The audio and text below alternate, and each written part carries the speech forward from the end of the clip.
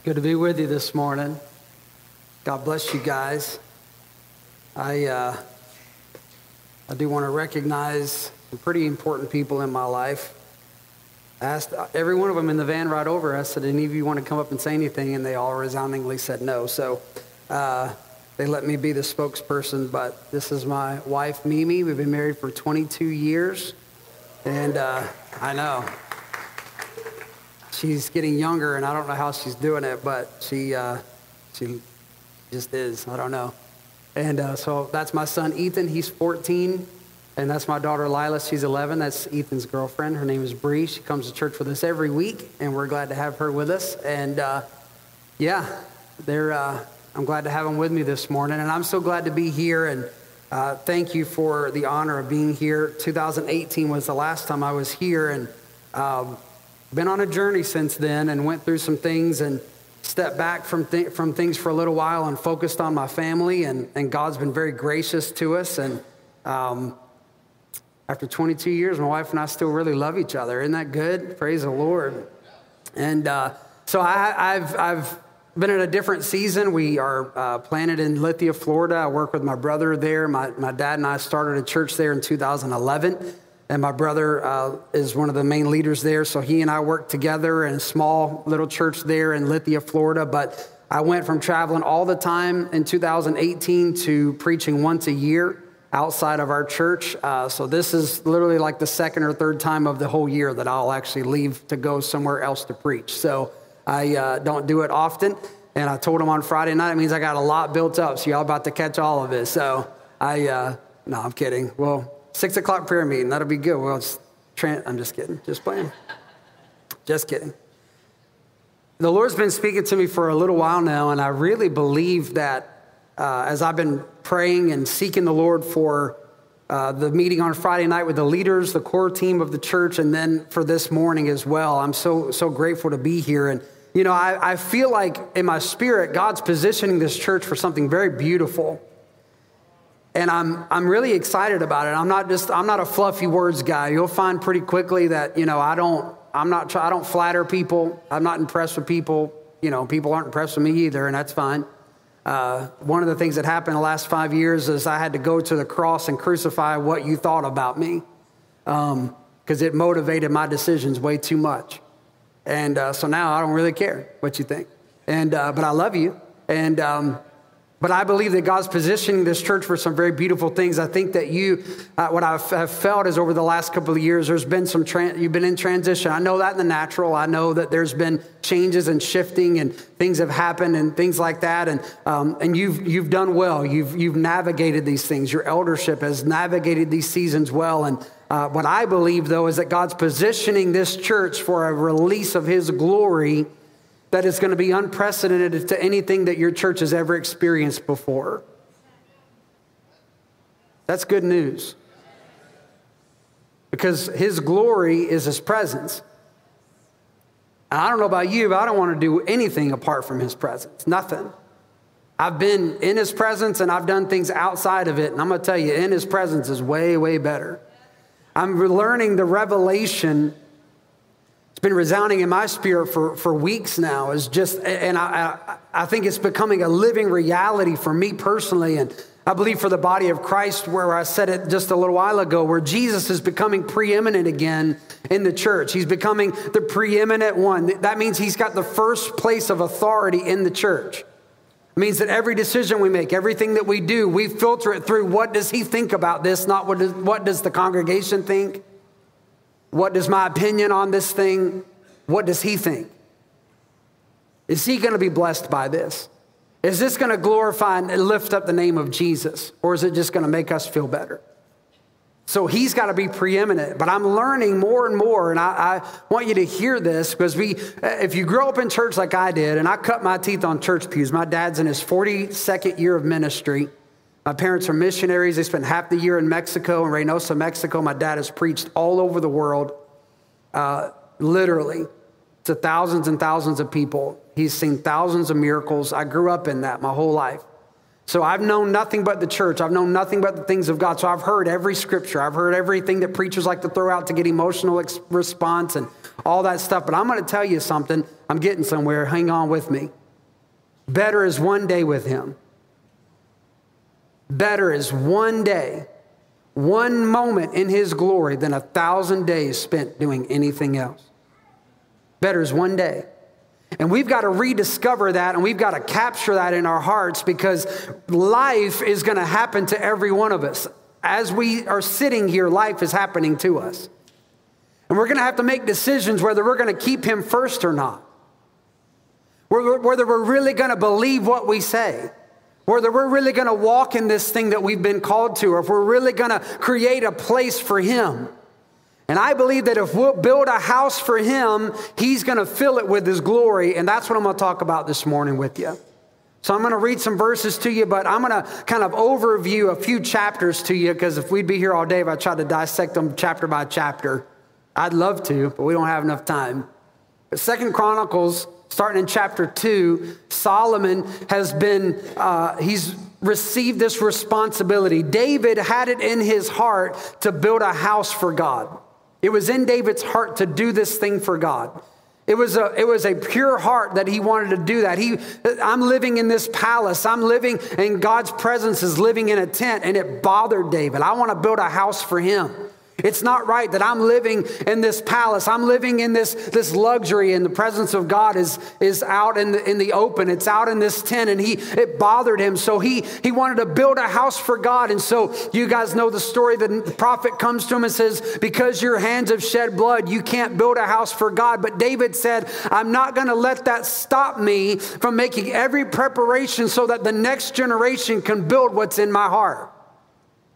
And God is speaking now to the body of Christ that this, this compartmentalization that we've created in the church, God is dealing with it where the generations don't honor one another and the older don't like the way the younger does it and the younger don't like the way the older does it. And we, we don't honor. I'm telling you, God is establishing honor in the house of God where generations come together. Paul, when he laid out the foundation for the church, he, he established that the older would teach the younger. Older women in the church teach the younger women modesty and, and, and how to keep their homes and how to be women of God and how to be good mothers and all those things. And, and, and fathers, he spoke to the older men to teach the young men to be, to be resolute, to be honorable, to be, to be godly, to, to lead their homes in righteousness. And we've lost that somewhere along the way because we, we are so advanced in our technology now. We're so advanced in our methods that we think that we've evolved beyond the deposit that the older generation can give us. And I believe God's wanting to address that because David had it in his heart to do something for God and he wanted it to go beyond what he could do in his generation. So his willingness to invest and lay up for created the opportunity for the next generation to build something for God that David wasn't able to build. And that's okay. This thing is growing, this kingdom is expanding. It's growing, it's, it's, it's increasing. The kingdom of God is increasing in the earth. The kingdom of God is increasing. And it's not increasing because we build more churches. We've got plenty of those. It's increasing when the people of God start understanding that the kingdom of God resides within them. You are the expression of the kingdom of God. It's not some it's not some building made with hands. We're making God a spiritual house. Fitly joined together creating a place for Him. And I believe that as you honor the presence of God and as you make room for Him, He's going to fill this place with glory. Hallelujah. So in chapter two, he starts building this house.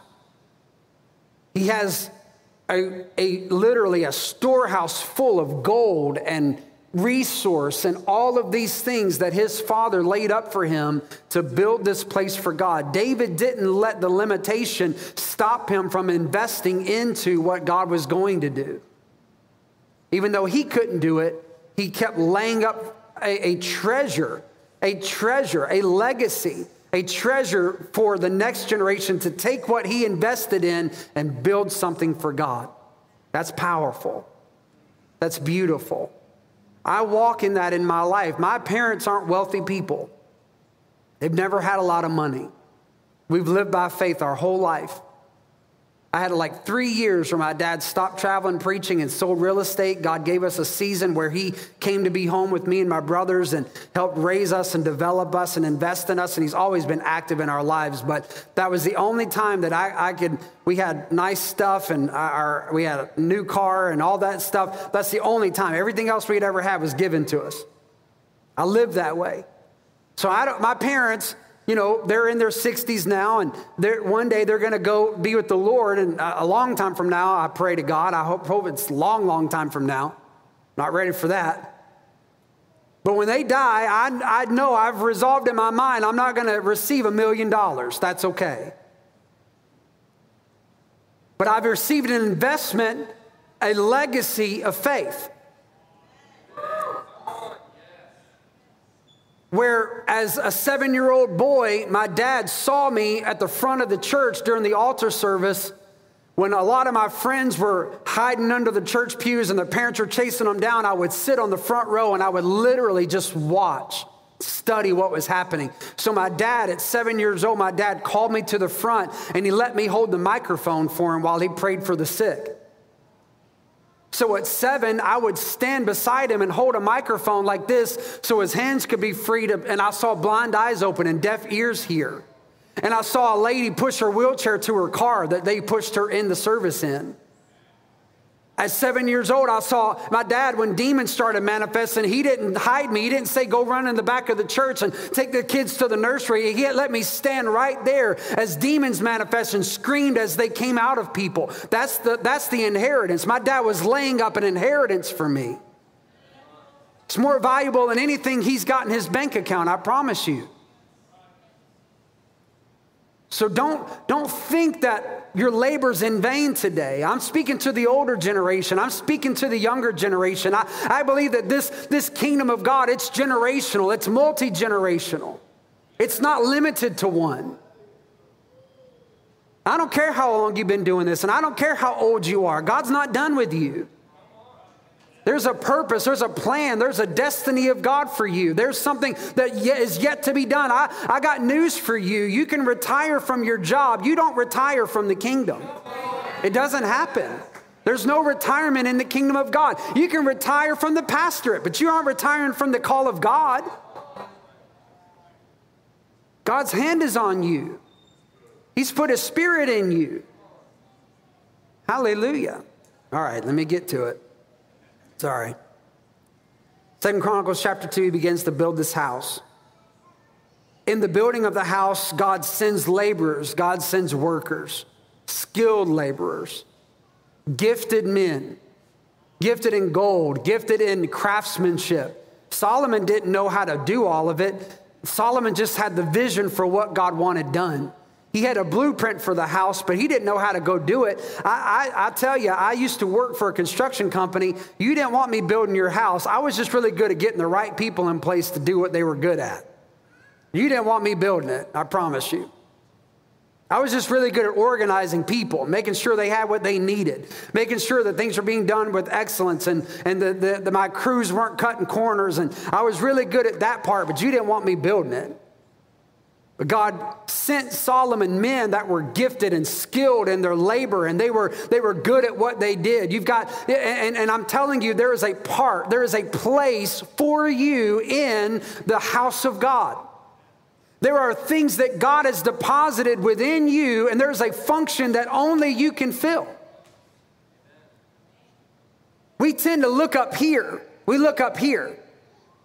I, am going to just share something with you guys, and this is not a this isn't to spotlight myself at all. I listen. Before this ever happened, I started doing this when I was 14, but I didn't do it all the time.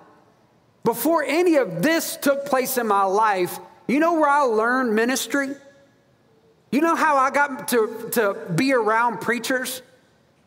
I found out that if I would make sure there was water in their glasses, they would let me in the room. I found out that if I would take their plate for them or I'd make sure they had what they needed, they'd let me hang around in the background. And I didn't go to Bible college. I learned what I learned serving in the house of God stacking chairs, singing on the worship team. I was at church as a teenager five nights a week. I was on drama teams and I sang. I sang on the worship team and I was in this and I was in that and I was in the youth group and I was involved in everything going on. I lived at the house of God my whole life growing up. I didn't know anything else. It's where I lived, it's where I stayed, it's where I was. And it's deposits were being made in my heart and in my life. I learned my place, I learned my function, but before I ever functioned here, I had to learn how to function there. The point is, God's put something in you.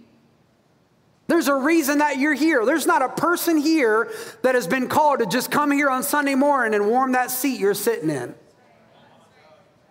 Not one person.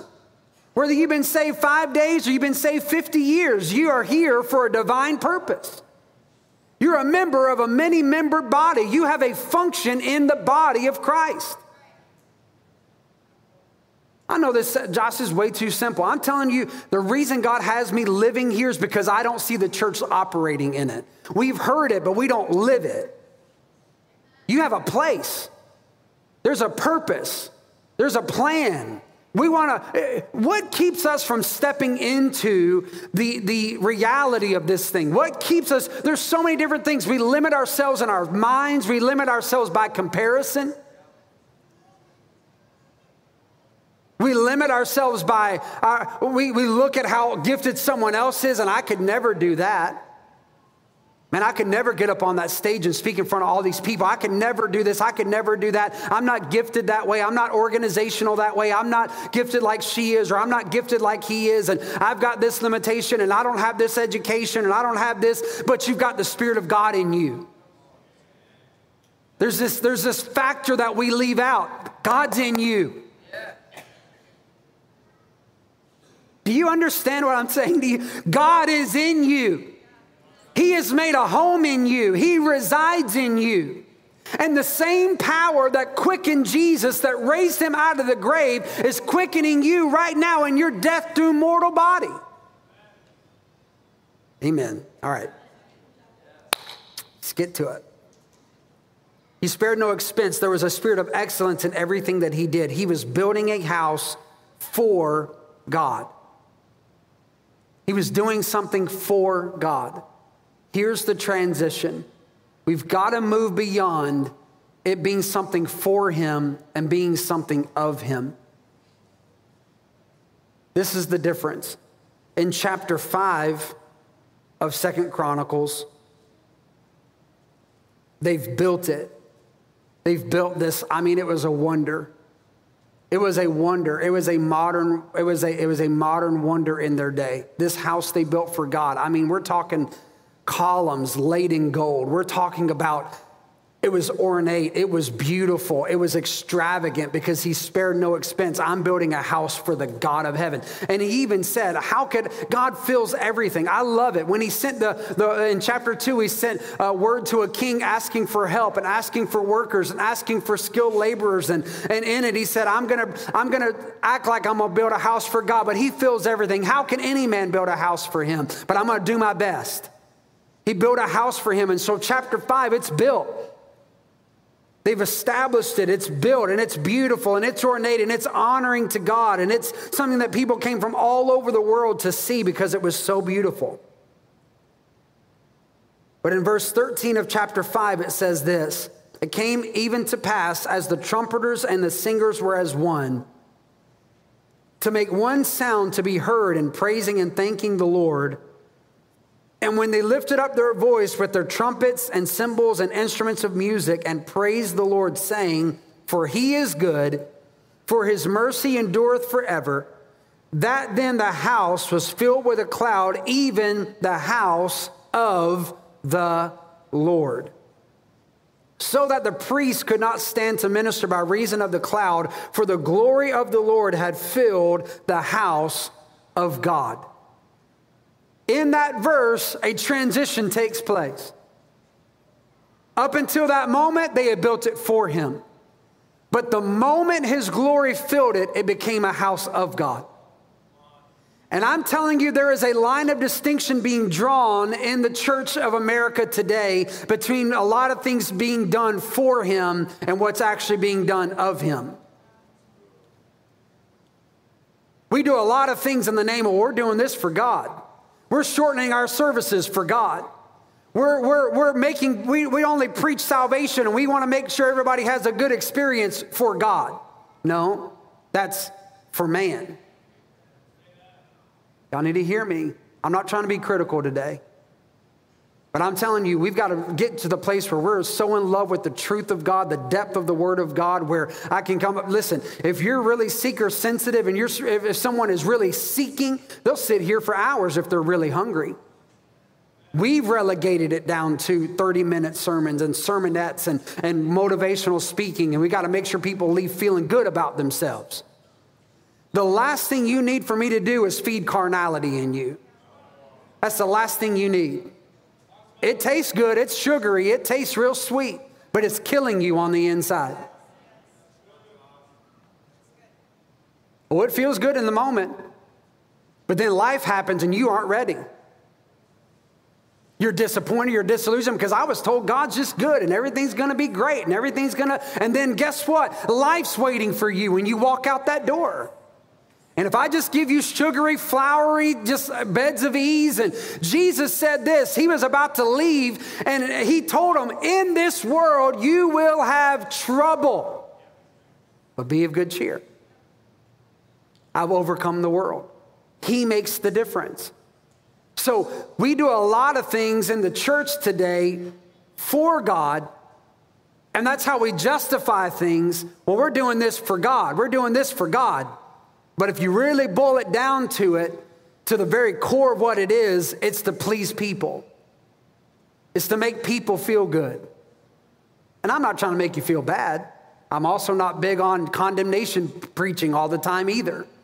Because I want you to know that God's in you and He loves you and the love of the Father transcends anything you've ever known. You've never experienced it. And I'm telling you, I, I've, I've walked through failure. I've fallen. I've failed. As a minister, as a husband, I have failed. And I went through a dark, dark season. And in the darkest moment of my life, you know who was waiting for me? The Father. I sat in a counseling session and I was waiting because I had pronounced so much judgment over the years. God expects holiness and righteousness and obedience unquestioned, unwavering. And I still believe that. But I preached it. And when preachers made mistakes, I'm like, man, they don't deserve this. They don't deserve to ever do. And I was so judgmental and so, so strong in my judgments of others. And so I'm waiting on the hammer to fall on me. I walked around for months, impending doom coming. I'm waiting. The Father's about to get me because I had such a wrong perception of who God really is. I sat in a session and I, I, I, said, Lord, what's a lie that I believed? And this is what the Lord said to me You've believed that mercy triumphs over judgment for everybody else but yourself. And then they had me ask the Lord, What's a truth that you want me to know? And I didn't even get the words out of my mouth. And I heard the Father speak to me, and He said, My mind has not changed about you. You are mine. Where I was expecting the judgment of God, I found the grace of God and the love of God. He's loving. He's worthy. He's worthy of our worship. He's worthy of our praise. He's worthy of our adoration. He's worthy of our life. He's worthy of it today. So he builds this house and the glory of God fills it. And so a transition takes place. Now it's moved beyond being something being done for him. Now it's actually of him because his glory's there. When God is behind something, he marked it with his presence.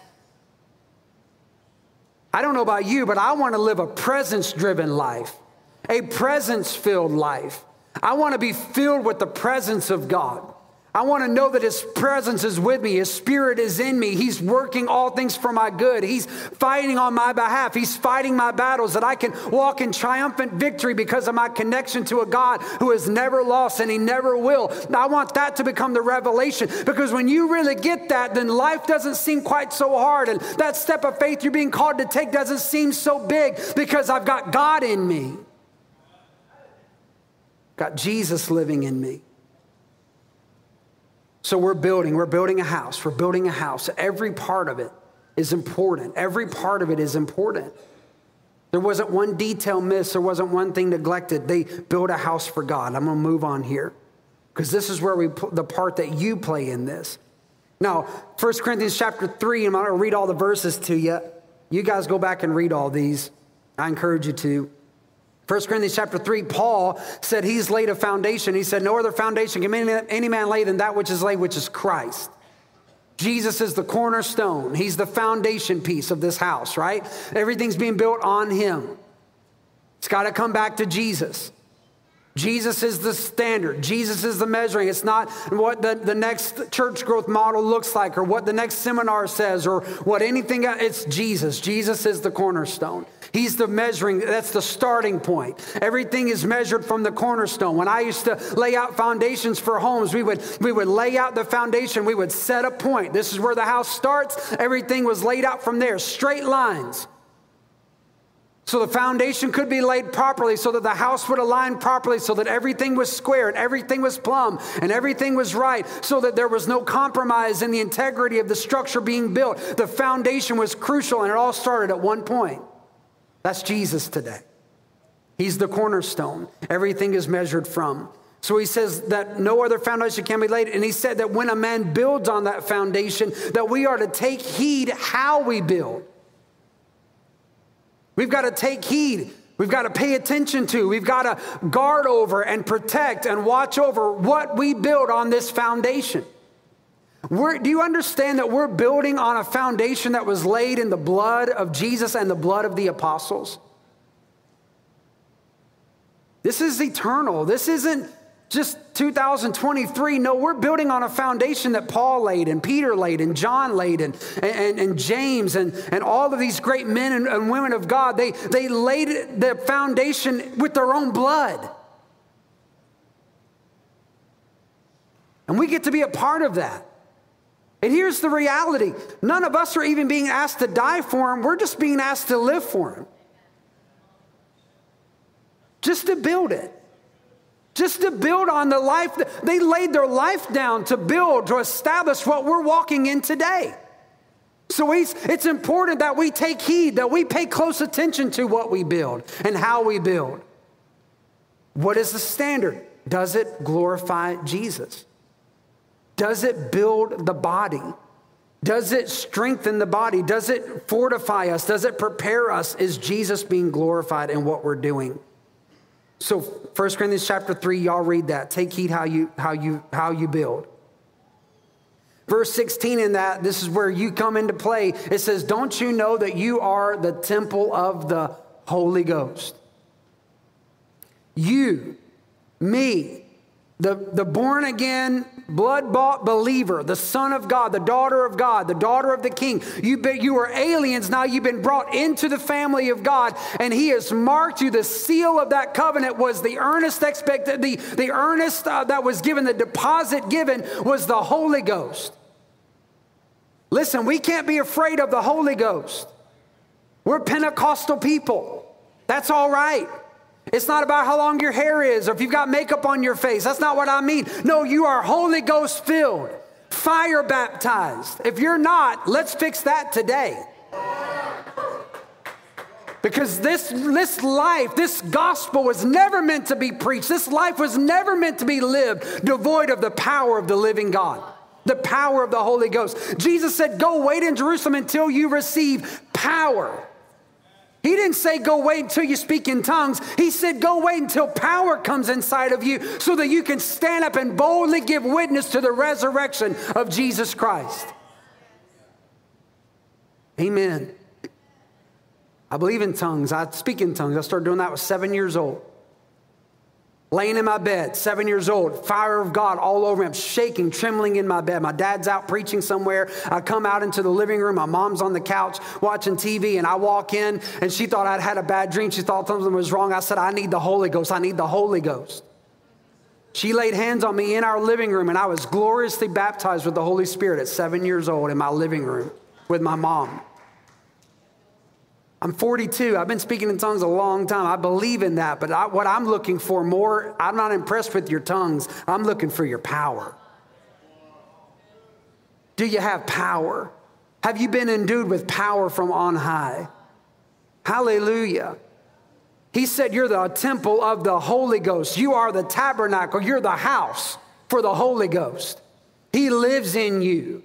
He moves through you. He speaks through you. It's not reserved for prophets, the people that hear from God and speak for God. He lives in you. The Holy Ghost, the mouthpiece of God, lives in you. He's speaking through you. He's just waiting on you to let Him. He's just waiting on you to agree.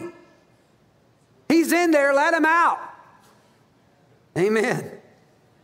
Trying to get through this. I'm sorry. So we're the temple of the Holy Ghost. The glory is the kabod. It's the weighty or heavy presence of God. It's his manifest presence.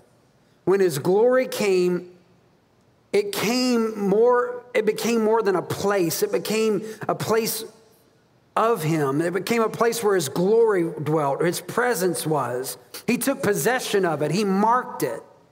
And once that took place, it could never be used. Do you understand that when, when the Old Testament, when, when a, an article or a spoon, a bowl, anything that was taken, that was sanctified and set apart for the service of God's house, it could never be used for anything else? Once God's glory was placed on it, once it was set apart for the glory of God, for the use of God, so that bowl could never be used to put your cereal in again. that was God's bowl. That was God's spoon. It belonged to Him. It was sanctified, set apart for Him. Well, I'm going to tell you this morning that He has put something in you. You've been marked, you've been branded. You don't belong to yourself anymore. Come on in this world of liberty and freedom and my individual rights. And, and we live in a, the greatest country, democracy. I love the, the, the, the freedoms that we have here. I've been around the world as well. I love America. I'm not the missionary that comes back and bashes America. I love America. There's things about this country that I absolutely love. There's things about this country I can't stand, but that's just another thing. But I love this country, but we are so uh, concerned about our rights. You're violating my rights. Well, when I came into the kingdom and he put his spirit in me and he branded my heart, I forfeited my rights. He owns me. He owns me. But he can be trusted. That's the good news. His plans for me are good. He already has an expected end in mind for me. I can trust him with that. I can rely on him for that. That's good news today. So it's not a troublesome thing, it's not a burdensome thing, it's a liberating thing. That means he's got me. It means he's responsible for me. And he's good at it. Amen. So he's put his spirit in you're the temple of the Holy Ghost. First Peter chapter 2, it's just a lot of verses. I'm not read all of them for time's sake. 1 through 10, you are living stones fitly joined together, building God a spiritual house. God is fitly, in, the Old Testament, there could be no sound of a chisel at the site. So they would prepare these large columns, these large stones, they would literally chisel them off site. You guys need to study that. It's, it's amazing. There could be no sound of chisels and work, man's labor on the, in that site. So they literally would chisel it off site. Then they would bring it and they would sit it in its place, and everything fit exactly the way it was supposed to go. It was absolutely amazing, astounding how they built it. Well, that's where you are. God's working and chiseling, and He's He's He's forming, and we're we're clay on a potter's wheel, and we don't like it, and it's uncomfortable, and He's working on the inside and working on the outside, and He's conforming us to His image, and He's changing us, and He's marking us. Why? Because there's a place that He's going to put you that only you can fill. You're living stones being put together to build God a spiritual house, and the marking of that house will be the glory of God. Not how many people sit here, not how full your church is, it's going to be the glory of God. And in the glory of God, there is freedom. In the glory of God, there is, there is liberty, there is healing, there are miracles. When God shows up, supernatural things happen. It should just become the way we live our life. It should be the way we live. You should never come to church on a Sunday not expecting God to do something powerful. Come on. My heart is that it's just going to be an extension of what we've been walking in all week. I'm not waiting for Sunday. You know, that's what we do. And this is the last thing, I'm, I'm going to try to close. Your light that God put in you, Jesus said, I'm the light of the world, but I'm leaving, and you're going to become the light of the world. That's not sacrilegious. This is what Jesus commanded. You're the light. Well, hear my heart in this. You don't need my light because you have your own light. My light is not for you. And this is what we do we tend to come to church and just compliment each other's lights. Brother, you're shining really bright today. I appreciate you. Man, sister, it's shining in you today. And that's encouraging and that's great. But I don't need your light. I have my own light. The light of God is in me. Can I tell you that your light is not for you? Your light is for a world. Just this week, I was at the gym. I know you can't tell. I just started going, so don't judge me. I'll come back in a year. We'll see how I look. I'll be looking like David Vespa next year. Next year. Maybe. but there's a young man that is there most days that I go, and he's from the Philippines, and he knows I'm a minister, but we talk about work, we talk about life, talk about all sorts of things. Well, this past week, he said, my, he, I love the way he said it. He said, I was in the Philippines, there's three, like, there's several religions, but Muslims are a part of the country. He said, and then there's Catholics and then there's born again Christians. He said, my fiance, she's still in the Philippines. He kept calling her, she's a born again Christian. She's a born again Christian. I said, well, what are you? He said, I was raised Roman Catholic, but honestly, I don't really know if I'm anything. So I ended up taking most of my workout time this week to minister the word of life to him. And he said, Do you mind next week? If you are you going to be here on Tuesday? I said, I will now. So now I've got some real motivation. He said, I've got some questions. And he said, I don't have time to get into them all today, but would you mind if I come next week with some questions for you? I said, Man, as long as you don't mind me working out while we, we answer them, I'm all for it. Let's do it. So I'm going to start loving on that guy, and I'm believing he's going to come into the kingdom of God. Why? Because my light isn't for me. My light's for him. He's looking for truth, he just doesn't know what it is. That's why you have light. Your living stones fitly joined together to build God a spiritual house. This house is not a house made with hands, it's a house that God builds, and He builds it through people. The expression that God has chosen to use to release His glory in the earth is you and I. Why? I don't know. He's God, He could do it any way He wants to. He could just pour it out of heaven right now and everybody see it, but he chooses to manifest his glory through you. He chooses to let the expression of his power be done through his people. I don't know why he chooses to do it that way, other than he loves the expression of the body of Christ. He loves the fact that he can put his power in you and his spirit in you, and you can manifest that to a world who's desperate for it. That's what we're here for.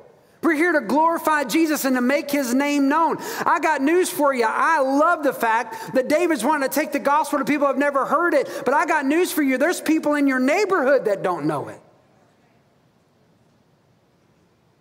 So we'll sow to missions and say, and we'll, we'll pat ourselves on the back, but we have, I, I mean, I, I struggle with it. I've got neighbors that are, that are on both sides of me that are Hindu. They don't believe in the God that we serve at all. And I'm asking God, show me how to bridge this gap so that I can share the love of Jesus with them and show them the way. I want to be a light to them. And I'm not an evangelist, but I am an evangelist because I've been given the good news. It's in me. I've got young men coming to my house with my son. My son is way more popular in school than I ever was. So I got a house full of teenagers a lot of days, a lot of times. There's boys at our house. And one boy in particular, and I won't say his name, but he came to our house, and I mean, he didn't know who Abraham was, he didn't know who Moses was. He knew who Jesus was because he went to Catholic school for one year, but that's all that kid knew. He's never been to church in his life, right here in America. Living in a pretty nice neighborhood, Mom works for the government, lives in an $800,000 house, has everything he needs in life eh, naturally, materialistically, but he's empty in his soul and he has no revelation of Jesus whatsoever. But I know that he liked coming to our house because he liked being around us. And we're going to love him into the kingdom of God. My son's going to love those kids into the kingdom of God. I, I, love missions, and I used to think that all my mission field was over there, but I'm telling you, I'm finding it. It's right in your backyard right now, guys. There's a world that needs it. And the thing that's going to mark us is the glory. We're living stones. How we build matters. Take heed how you build. How you build and where you build, it matters. You got to build on the rock. You got to build on the rock of Jesus. What we build matters. Uh, the Psalms chapter 127 verse 1 says that unless the Lord builds the house, they labor in vain that build it. Very familiar verse. Unless the Lord build the house, they labor in vain that build it. Unless the Lord watch the city, the watchmen watch in vain. So you, you guys have heard that verse, I'm sure. Here's the, the revelation of that, though. It doesn't say that you won't build it. So, what that means is I could spend my life building something that God's not building. Because He didn't say that they wouldn't build it, they just said they're building it in vain. And I don't know about you, but I don't want to go back, go into eternity looking back on my life realizing that I had been investing in the wrong thing, building the wrong thing. I want to build what he's building. I want to partner with him. And you all have a part to play in that, where from the least to the greatest. And so I, I love that the heart of this place is to show honor to everybody, show honor to every person. We're many members of making up one body. You all have a function, you have a purpose, you have a plan. God saw you in this moment. Do you understand? This is something I was up at, uh, in, in Charlotte a couple of months ago, and on the airplane, the Lord spoke something to me, and I grabbed my phone and I put a note in it to do, because I don't pay for Wi Fi on airplanes, I don't do all that stuff. That's my quiet time. But I put it in my note to, uh, to think about it. When I landed, I grabbed my phone and I Googled it approximately how many days we've been on the earth since Jesus walked the earth. Do you understand it's over 700,000 days? There's over 700,000 days that you could have been born on the earth. 700,000 opportunities for you to be born in the Middle Ages, to be born when Jesus was walking the earth, but God in his foreknowledge, God in his predestination chose to put you on this planet for this time in this moment. And he's put prophetic destiny in you. And he's put power in you. And he's put his spirit in you. And he's put his nature in you. And he's doing that so that he can show himself powerful through his people. That's why you're here. So you're part of the body We've got to all come together. There's a couple things real quick, I'm going to be done, that, that were important in Second Chronicles 7. When they created this place for him, there was a few things that you find here. Each man was where he was supposed to be. Every person was in the place they were called to be. They had a function and they functioned in it. So there was unity, there was submission. I'm submitting to what God is asking me to do. I'm going to serve, I'm going to work. I'm going to do my part. I'm going to invest my life into the kingdom of God. And it's not so that I can earn my place in heaven, it's because I've already been given heaven. I don't work for, I work from. Massive difference. Ministers had prepared themselves, their hearts were pure. They were ready, they had prepared themselves. They lifted up worship. Music and worship was sent up to glorify God in unison. They were worshiping God. So they had people in their place, ministers were prepared, music was, was there, the worship of their hearts was being lifted up to God. They prayed and they asked for him to come. Simple. But Solomon asked him, Would you come? And I know he's with us. He's in you. He never leaves you. I know that, but there is something about the corporate expression where the glory of God comes in a tangible way. And we've got to make sure that we're asking Him to come. I don't want to go through services without Him. I don't want to go through my workday without Him. I'm asking Him to come. I need Him. Every hour I need Him. Amen? They prayed and asked Him, and then His fire came. So sacrifice was made. The fire came and fell on it, and then the glory came. The last point I'll make, and I'm going to pray. Fire preceded glory. The church has been in a season where God is cleansing. Fire cleanses. The fire came, and then the glory fell. So the fire preceded the smoke. I believe that prophetically, there's been some, some cleansing, there's been some shifting, there's been some, some pruning that's taken place in here, in this church. This is what I'm going to speak to you prophetically. Fire had to kind of come and burn out some motives and some things. And there's some people not sitting in this place today because of it. And that's okay. Hear my heart. We wish, I pray blessings on. But there are people that aren't here today I don't know who they are. Don't try to speculate either. Don't start looking around. I see some of y'all like, who's not here today? Just kidding. God cleansed. The fire came, fire fell, and then the glory came. You've been in a season of transition and shifting and glory. The fire, the cleansing, God's cleansing motives, and He's cleansing, He's bringing clarity, He's bringing clarity of vision, and He's shifting things from from what it was to what he really intended. And that's, and that's all really good. And because you've been willing to do it and you've been able to adapt and adjust and make changes and shift and, and kind of shift the way things were being done to the way you feel like God's telling you to do it, I'm telling you that the next phase, the next thing is the glory.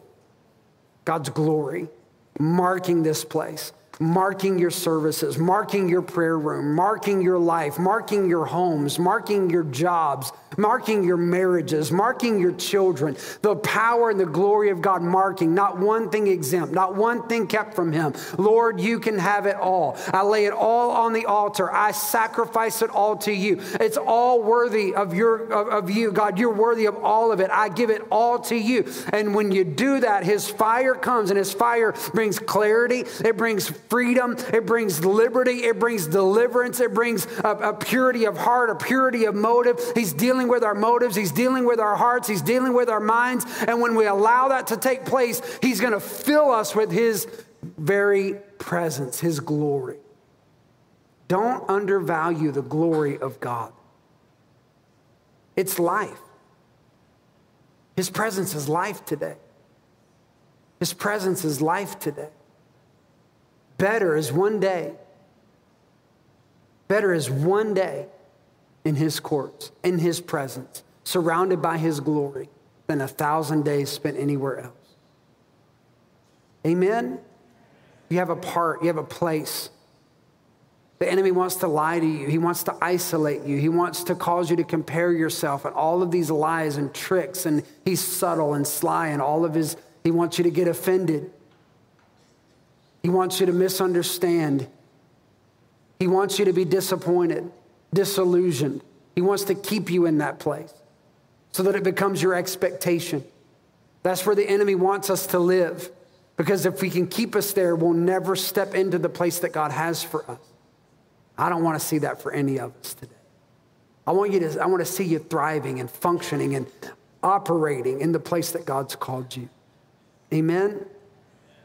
And we pray, everybody bow your heads with me. Lord, we thank you. Lord, you've already ministered in the altar today. It was so sweet. We thank you for touching hearts and lives. And Lord, I thank you for your presence in our midst. I thank you, Lord, that you're moving in our hearts.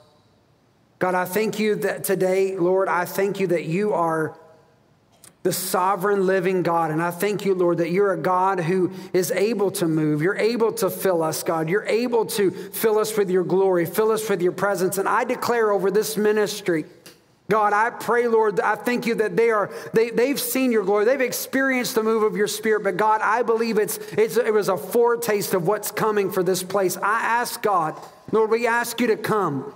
I ask you to come and begin to move in this place in ways they've never known before. God, it's going to show up in community. It's going to show up at kitchen tables. God, it's going to show up, God, in fellowship. It's going to show up at parks. It's going to show up, God, Lord, where, where two or three are gathering together in your name. You're going to be there in the midst of them. God, I thank you, Lord, where, wherever we gather, whatever we're doing, we invite you, God, into it. Lord, send your glory in Jesus' name. We need your glory. Your glory brings life and peace. It's your very presence, it's the essence of who you are, God. We need it. Help us not to live devoid of it, God. Help us not to live, God, to settle for a life without it, God. You paid such a tremendous price to give it. I pray that we would receive it. I pray that we would walk in it in Jesus' name. Lord, we love you. I pray blessings over this house. Pray that you would send the people here, God, that need to be here. I thank you for the sending out, oh God, of those that you have called. Lord, I thank you this will be a place of sending, a place of sending many into the harvest fields. God, I thank you they're going to go out, God, with a, a revelation. They're going to go out with a manifestation of your glory, God. Lord, I thank you for your glory is going to cover the earth as the waters cover the sea. God, let it be so. On the dark continent, God, I pray for your glory to be seen. Lord, in the nations of the earth, God, in the Middle Eastern nations, God, I pray for your glory to be seen. Lord, in the South American nations, God, I pray, Lord, for your glory to be seen. Lord, I pray all over this land, God, in Canada, Lord, I pray that your glory would be seen. Oh God, that you would move, God, on the Gold Coast, God, Lord. I pray, Lord, God, in Australia, Lord, God, in, in Europe, Lord, and Lord, every continent, every nation, God, until every ear is heard, until every eye has seen, God. Let this glorious gospel of the kingdom of God be preached in all the world, God, in Jesus' name. Lord, I pray you help us to bring it to our neighborhood to our community pools, God, and Lord, to our jobs and to the gym and God, whatever we do, Lord, as we live our lives, God, I pray your glory would be seen. Father, we thank you for it. We love you today. In Jesus' name, amen. Praise the Lord.